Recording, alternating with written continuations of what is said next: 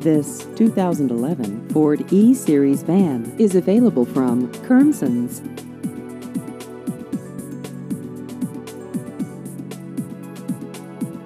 This vehicle has just over 77,000 miles.